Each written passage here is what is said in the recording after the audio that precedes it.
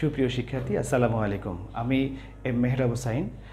তো গত ক্লাসের ধারাবাহিকতায় আজকে আমরা গড়ের সৃজনশীল ক্লাস অঙ্কগুলো করব। এবং আমি গত ক্লাসেই বলেছিলাম যে গড়ের সৃজনশীল অঙ্কগুলো তোমাদের জন্য গুরুত্বপূর্ণ, কারণ খুব সহজেই এখান থেকে মার্কস ক্যারি করা যায়। অন্যান্য চ্যাপ্টারের অঙ্কগুলোর চাইতে কম্পারেটিভলি একটা মাত্র সূত্র মাথায় রেখেই খুব সহজেই যেহেতু অঙ্কটা করা যায়, তাই অত্যন্ত বুদ্ধিমানের কাজ হবে, খুব সহজেই এই অধ্যায়ের অঙ্কগুলো প্র্যাকটিস করা। চলো আমরা বেশি কথা না বলে আমরা এই অধ্যায়ের সৃজনশীল অঙ্কগুলো নিয়ে কথা বলি। প্রথমেই আমরা একটা অঙ্ক দেখবার চেষ্টা করব। কি বলছে দেখো অঙ্কটাতে? অঙ্কটাতে হচ্ছে সাতটি টেনিস বলের মোট মূল্য চারশো ছয় টাকা, প্রথম তিনটি বলের গড় মূল্য আটান্ন টাকা এবং শেষের তিনটি বলের গড় মূল্য পঞ্চান্ন টাকা। আমরা প্রথম প্রথম ক্লাসেই বলেছিলাম, সাধারণত অঙ্কে গড়, রাশিগুলোর সংখ্যা, রাশির যোগফল, এই তিনটা বিষয়ই থাকবে। এই তিনটা বিষয়ের মধ্যে যে কোনো দুটো বিষয়ের উপস্থিতি থাকবে আর একটা বিষয় অনুপস্থিত থাকবে, সেটা আমাকে বের করতে হবে। তাহলে আমরা প্রথমে আগে খেয়াল করি এই অঙ্কটাতে কোন কোন বিষয় আছে। সাতটি টেনিস বলের মোট মূল্য, তার মানে বোঝা যাচ্ছে মোট মূল্য বলতে এটা একটা রাশিগুলোর যোগফল পাওয়া যাচ্ছে। প্রথম তিনটি বলের গড় মূল্য দেওয়া আছে। এখানে রাশির সংখ্যা দেওয়া আছে, আবার গড় মূল্য আছে। এখান থেকেও কিন্তু আমরা রাশির যোগফল বের করতে পারব। ওই যে প্রথম ক্লাসে দ্বিতীয় যে সূত্রটা আমরা বলেছিলাম। আবার এখানটাতেও খেয়াল করো, শেষের তিনটি বলের গড় মূল্য পঞ্চান্ন টাকা। তার মানে এখানেও একটা রাশির সংখ্যা আছে এবং একটা গড় দেওয়া আছে। তার রাশির সংখ্যা এবং গড় থেকে এখান থেকেও আমরা রাশিগুলোর যোগফল বের করতে পারব। আচ্ছা ওকে, এটা আমরা অঙ্ক থেকে কথা বললাম। এবার চলো অঙ্কে কি বলেছে? ক নম্বর অঙ্কে বলছে, বলগুলোর গড় মূল্য কত? বের করো। তার মানে গড়ের যে সূত্রটা আমরা পড়েছিলাম, সেটা কি ছিল? সাতটি টেনিস বলের মোট মূল্য এত। তার মানে রাশিগুলোর এখানে একটা যোগফল দেওয়া আছে, আবার রাশির সংখ্যাও দেওয়া আছে। রাশি সংখ্যা কত? সাতটি। রাশিগুলোর যোগফল কত? চারশো ছয়টি। তাহলে এখান থেকে কিন্তু আমরা গড় মূল্য বের করতে পারব। এর পরের অঙ্ক কি বলেছে খেয়াল করে দেখো? বলছে চতুর্থ বলটির মূল্য কত? তার মানে চতুর্থ বলের মূল্য বের করতে হলে এই অঙ্কটা একটু বড় হবে।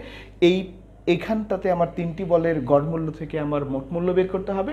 কারণ আমি এখান থেকে রাশি সংখ্যা জানি, গড় মূল্য জানি। আমরা দ্বিতীয় সূত্রতে বলেছিলাম, রাশিগুলোর যোগফল বের করতে হলে গড় গুণন রাশি সংখ্যা। তার মানে এখান থেকে আমি রাশিগুলোর যোগফল বের করতে পারব। তাহলে এইখান থেকে যদি আমি রাশিগুলোর যোগফল বের করি, তাহলে এইখান থেকে আমি একটা যোগফল পাবো, এইখান থেকেও একটা পাবো। তাহলে এখানে তিনটি বল, এখানে তিনটি বল, মোট ছয়টি বল। সেখান থেকে আমি এই চতুর্থ বলের মূল্য বের করতে পারব। যাই হোক, এগুলো নিয়ে আমরা পরে কথা বলব। এরপরে বলছে গ নম্বর প্রশ্নে, প্রথম তিনটি বলের মোট মূল্য, অর্থাৎ এই যে প্রথম তিনটি বলের মোট মূল্য, এখান থেকে গড়ের সাথে এটা সূত্র প্রয়োগ করে আমরা মোট মূল্য বের করতে পারব এবং শেষের তিনটি বলের মোট মূল্যের পার্থক্য, অর্থাৎ এইখান থেকেও যে আমরা মোট মূল্য পাবো, সেইটার পার্থক্য দশটি কলমের গড় মূল্য হলে। অর্থাৎ বিয়োগ করলে যা পাওয়া যাবে সেইটা যদি দশটি কলমের গড় মূল্য হয়, তাহলে ওই দশটি কলমের মোট মূল্য কত হবে? এখানটাতে আমরা রাশি সংখ্যা দশটি, গড় মূল্য পাবো।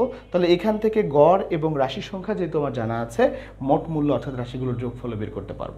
চলো আমরা এবার অঙ্কটাতে ডিটেলস করে ফেলি। কি বলছে? ক নম্বর প্রশ্নে আমরা দেখেছিলাম, মোট গড় বের করতে বলেছিল। দেওয়া ছিল সাতটি বলের মোট মূল্য চারশো ছয় টাকা। তার মানে এখানে সাতটি বল বলতে এটা রাশি সংখ্যা, সাতটা বল, আর মোট মূল্য বলতে এটা রাশিগুলোর যোগফল কত? চারশো ছয় টাকা। তাহলে আমরা অঙ্কের সূত্র অনুসারে জানি। কি দেখো, খেয়াল করো। সাতটি বলের গড় মূল্য অর্থাৎ চারশো ছয়কে আমরা রাশি সংখ্যা সাত দ্বারা ভাগ করলে যা পাওয়া যাবে সেটাই হচ্ছে গড়। কি দাঁড়াল? সাতটি বলের গড় মূল্য বের করতে হলে রাশিগুলোর যোগফল অর্থাৎ চারশো ছয় ভাগ রাশির সংখ্যা মানে সাত করলে মোটামুটি কত হয়? আটান্ন বের হয়। তাহলে প্রথম অঙ্কে আবার যেটা পেলাম যে সাতটি বলের গড় মূল্য হচ্ছে আটান্ন টাকা। এবার পরের অঙ্কে কি বলে? দেখো নম্বর প্রশ্নে কি বলছে? এই অঙ্কটাতে বলেছিল যে চতুর্থ বলের মূ- গড় মূল্য কত? প্রথম তিনটি বলের গড় মূল্য হচ্ছে আটান্ন টাকা। এবং এখান থেকে আমরা কি করতে পারি? এই তিনটি বলের মোট মূল্য বের করতে পারি। কি বলছে দেখো? প্রথম তিনটি বলের গড় মূল্য যেহেতু আটান্ন, তাহলে মোট মূল্য বের করতে কি করতে হবে? আমরা যে দ্বিতীয় সূত্রটা বলেছিলাম, সেইখানটাতে গড় গুণন রাশি সংখ্যা।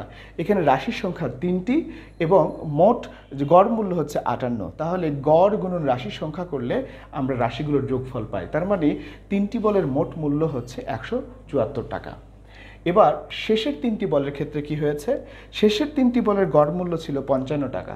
একইভাবে আমরা শেষের তিনটি বলের মোট মূল্য বের করতে পারি। কীভাবে খেয়াল করে দেখো? এখানে যেভাবে তিনটি বলের মোট মূল্য বের করেছি, একইভাবে তিনটি বলের মোট মূল্য বের করলে অর্থাৎ এখানে গড় মূল্য পঞ্চান্ন গুণন তিন সমান সমান একশো পঁয়ষট্টি টাকা। তাহলে প্রথম তিনটি বলের মোট মূল্য একশো চুয়াত্তর, শেষের তিনটি বলের মোট মূল্য হচ্ছে একশো পঁয়ষট্টি টাকা। এই দুটো ধারণা থেকেই আমরা চতুর্থ বলের মূল্য বের করবার চেষ্টা করব। কি করছে দেখো? এখন প্রথম তিনটি বলের মূল্য এবং শেষ তিনটি বলের মূল্য যদি আমরা যোগ করি, তাহলে ছয়টি বলের মূল্য পাব। দেখো, প্রথম তিনটি বলের মূল্য ছিল একশো চুয়াত্তর টাকা এবং শেষ তিনটি বলের মূল্য ছিল একশো পঁয়ষট্টি টাকা। এই দুটোকে একসাথে যোগ করলে কত হয়? তিনশো উনচল্লিশ টাকা। তাহলে আমরা ছয়টি বলের মোট মূল্য পেয়েছি।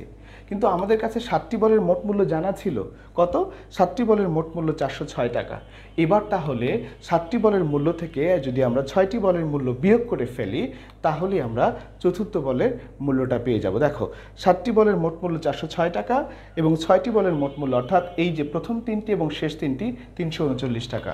বিয়োগ করলে কত হচ্ছে? চতুর্থ বলটির মূল্য হচ্ছে সাতষট্টি টাকা।